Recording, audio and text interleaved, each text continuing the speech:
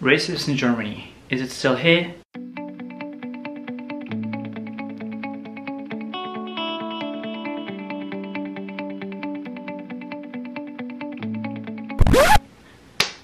Welcome Reshaper.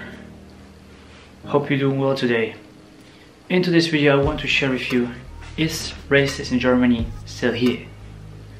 Well, as you know my, my story, actually back then in when I was a small child, like when we go back to uh, where we actually moved to here to Germany from Russia. The first experience I got actually racism, racism was in Russia, and the second one, of course, in Germany. But in Germany, it wasn't. It was still my first grade. It was my first grade where I experienced the first time racism. It wasn't just racism from some of the pupils because I had uh, maybe a little bit uh, pimples on my um, skin. But it was also from teachers. And it was more like this underground racism. She isn't she hasn't talked to me that but if when she said like Russia and stuff like that every time when I talk about my home country she was really uh, she I could see like the uh, like not the fear but more this kind of anger in her face and facial expression every time. I just have to say this one word and she has really bad perception bad connection to it. And um, it, I could see actually that I did the same thing the even more amount of work for my uh, grades. However I could see that she is just hating on me and I had some worse remarks than the others. Even I did the same amount of work. So uh, fairness unfairness I mean I wasn't good in German so I couldn't express myself that good. So she could actually do what she was. And the same thing I also experienced in the middle school. Um, uh, some of these were really against Russians and I could feel how the Russians you know grade just had really bad, bad, bad, bad um, remarks, especially at this one teacher, and I have actually experienced it back then. This is actually my story. Another story is actually, till then, when you are a white person and running um, in uh, public transport, I mean, someone of yours might really experience that kind of that kind of um, yeah how people are watching you when you're there. May, may, many of you watching you like you are a freaking uh, alien or so or it's uh, I see I feel myself everything when I see this thing so I try to ignore it and, try to perceive it as a positive. However um, if you just see how they're watching you um, it's just they felt every time offended you just watch you just watch a little bit on them? And this is actually pretty intimidated how you can how you see these faces how you see um, and actually the things how most people are speaking. And it's not every not everybody is polite.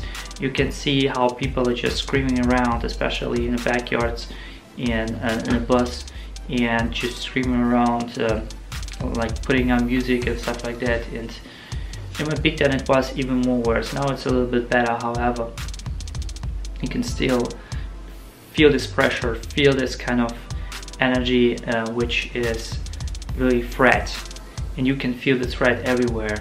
And uh, the most threat which is actually there is from police officers. I mean I don't want to be a victim however I can uh, show you uh, one story. It was two year, it was one year ago uh, when we were at a Pokemon Fest. I think it was the Dortmund was in Oberhausen, something like that. Uh, two years ago, I believe. And what eventually happened is we uh, walked with friends and we just talked, even not loud, just a little bit. And all of a sudden, two police officers approached us and has asked us for our for our um, place of residence like passports and luckily we had those passports with us and they can control. However, uh, they are even uh, the friend of us was a police officer, uh, but she has like normal clothes on.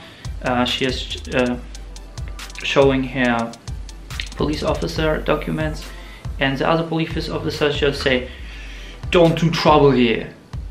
And the funny thing is, five meters ahead of us were some people with um, immigrant Im immigrant background uh, to Germany, and they were literally fighting.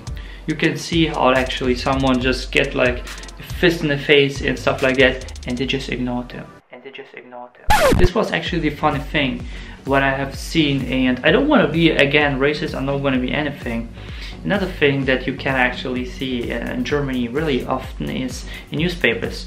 Every time when um, someone committed a crime, when it's written someone was German, uh, with the German citizenship, there's written a, a, German citizen every single time. However, if someone is uh, uh, uh, having an immigration background, there's written a person. Do you see this disbalance? I mean, Germany, they are always talking about racism against racism against black people, racism against is um, against racism, um, which is um, against Islamic racism and everything racism. However, there are so much talking about racism about people who are in foreign countries rather so they are don't they're kind of blind to the uh, racism to their own folk and this is the thing that I want to really address to not just to the government but also to the people especially to Japan which is 2020 uh, you have actually your Olympics don't make your rules easier to immigrate to Japan because the easier you make the more it becomes like here in Germany and I don't want to have Japan like here in Germany. Japan is the only country I felt myself really safe. It's the first time in my life I felt safe. Even in freaking Aokigahara where people are committing suicide I felt myself safer than here in Germany. when you are alone. Even when you are alone in the darkest uh, night in Japan you feel yourself more safe than here in Germany and this is what I want to address.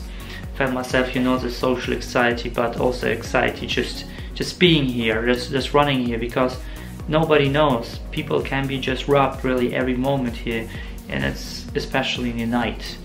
So the best thing is no go in the night, but if you have to, you know.